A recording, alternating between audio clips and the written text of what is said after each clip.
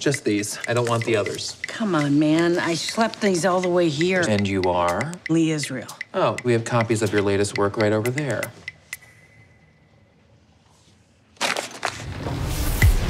Nobody is going to pay for the writer Lee Israel right now.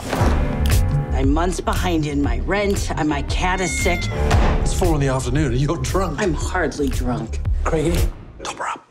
My suggestion to you is you go out there and you find another way to make a living. Recently found this delightful sign letter. Fanny Brice, one of my favorites. I could give you 75. Oh, I could give more for better content.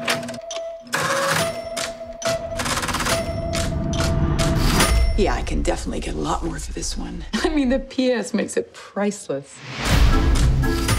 Quite by accident, I find myself in a rather criminal position. What criminal activity could possibly involve it, except a crime of fashion, of course? I'm embellishing literary letters by prominent writers. I love his writing. Caustic wit. This is quite something. Name your price. What are we going to do? Gamble? Shop? Drink? Ms. Israel, I have a couple of questions regarding the last letter I purchased. What seems to be the problem?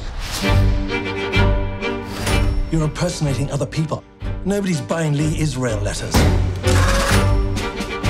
There have been some forgeries going around. Do you think it's real? Looks that way. Good.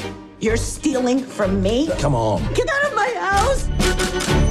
We're probably looking at some time behind bars. What? I can't say that I regret any of my actions. In many ways, this has been the best time of my life.